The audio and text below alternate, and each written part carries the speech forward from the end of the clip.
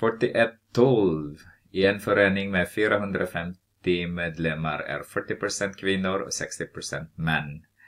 Hur ska ett urval på 10% av medlemmarna göras om urvalet ska spegla förhållandet mellan antal kvinnor och antalet män i föreningen?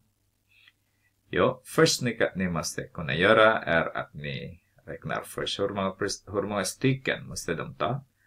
Och det är 10% så har vi 45 stycken. Måste de ha.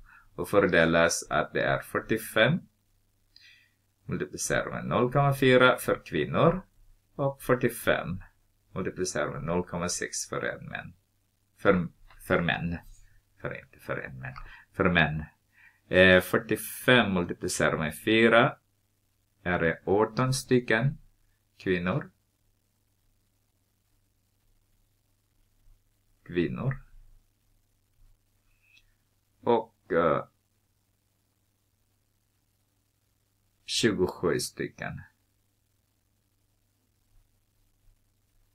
män förväntas det.